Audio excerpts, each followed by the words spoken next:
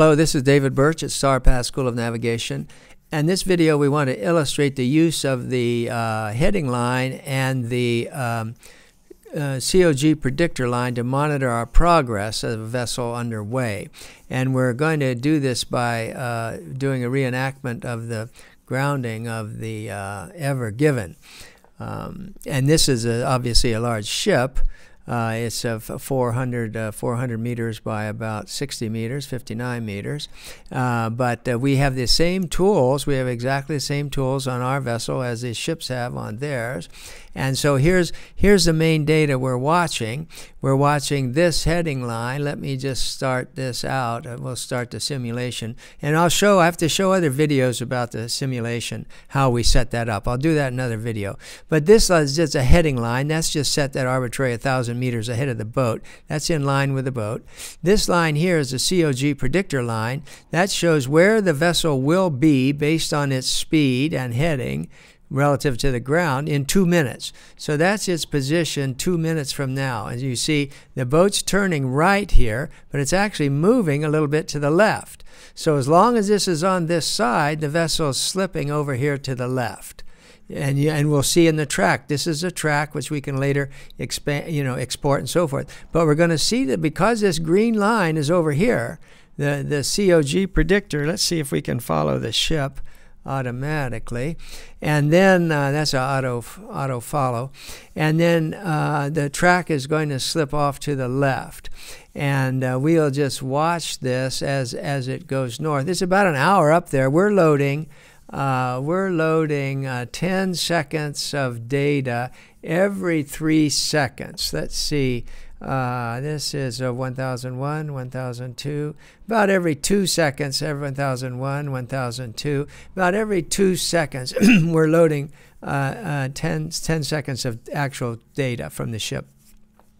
So this was his actual heading, 48 and 048, and and the making good 045. So here you see the boat's uh, headed this way, but it's slipping a little bit, slipping a little bit to the left. And these are, this is a significant, well, I mean, in, uh, at least in when we're using this in our own vessels, we, we treat this as significant because it shows that we're slipping left. And we'll see that this track, this track is gently slipping over to this side. And if I right click this, I can ask for the uh, vector chart elements. See, that's 11 to 25. This goes from 11 to 25 meters deep, and this is 25 meters deep. The draft of the vessel is about um, is about 15.7. So again, we see here it's headed to the right, but we always, which way the boat's really going, the ship is going, is that green line like that. Let me see, Command B, and let's see if that will auto follow. So we're going to just follow this and just watch. We can probably go a little bit faster maybe. Um, this uh, this program has a unique tool for doing this type of replay because we can control how fast we replay it, and then this uh, uh, records where we are within the replay.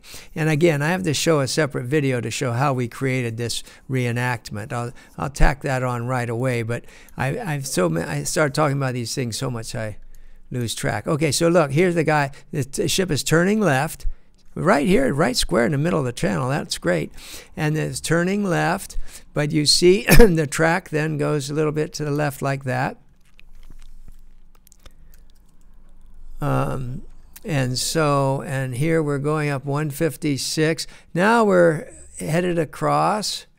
And um, okay, so again, we always watch this. This now, when these two are lined up, the boat's going the way you think it's going. Um, but when this is off to the side, in other words, here he's turning left, but the boat is literally still moving to the right, still moving to the right. And the track here is going to get closer and closer to this edge.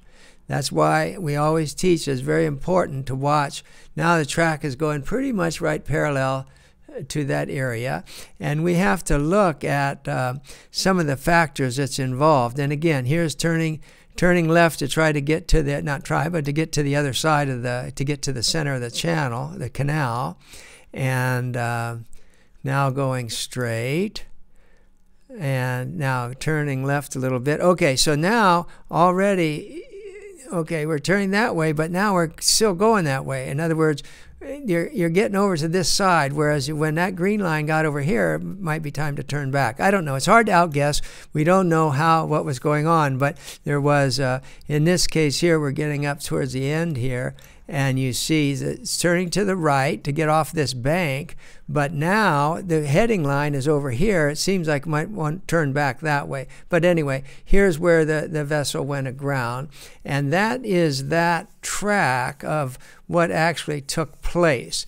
Now we need to come back and fill in some details about what's all involved with a, with a type of trip like that and this particular trip.